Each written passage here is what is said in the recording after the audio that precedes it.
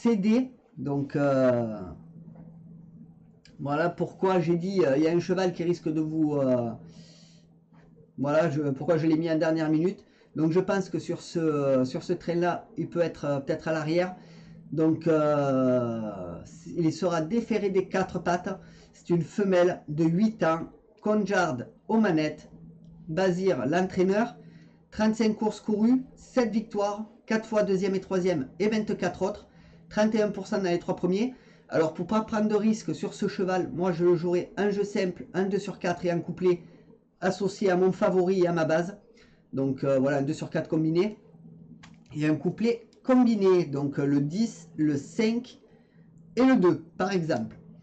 Voilà, après vous pouvez mettre les chevaux qui vous intéressent, hein, qui, euh, que vous voyez plus que les miens, si ça vous dit. Voilà. Donc, ceci étant dit, on va passer au pic 5. Donc, le pic 5, on y va.